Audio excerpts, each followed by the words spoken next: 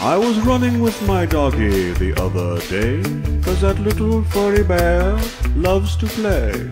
But when we got home, to my surprise, she lay on the floor and closed her eyes. She did the flop, She did the boondy flop. the boondy flop, That doggy loves to flop. the boondy flop, She did the boondy flop. the boondy flop. She did the boondy flop. Wow, flop wow, only flop wow, only flop wow.